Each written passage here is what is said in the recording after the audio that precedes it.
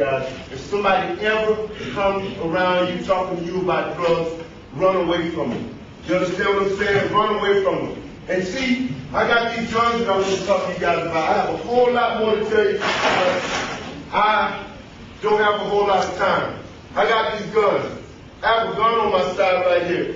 Just this week, at the beginning of the week, a young boy, not even 16 years old, was killed playing with a gun. And see, this is an unloaded gun. Right here, this is the gun. No, empty weapon. Empty weapon. This is a Glock 40. 50 Cent, Too Short, all of them talk about Glock 40. Okay, I'm the only one in this room professional enough that I know of to carry this Glock 40. I'm the only one. No more. Is everybody all right? You all right? Nah, this is false. I it. Yeah, I had an AD. Yeah, I'm, I'm here. Listen, listen up, guys. But, uh, listen up. And I made a mistake. So listen to me.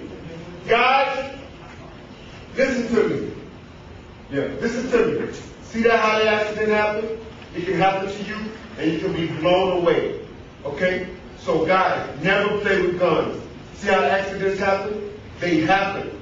Okay, now I'll probably never be able to show guns again. But Brian, show, bring that other gun out, Brian. Brian. Yeah, Robbie, leave that right there. Leave that right there. Brian. I think he called it right now. Bring that other gun out. Hey, you see this gun right here, guys? Listen. See this gun?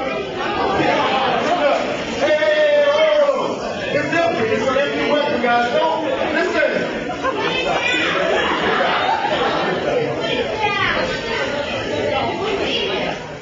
Robin.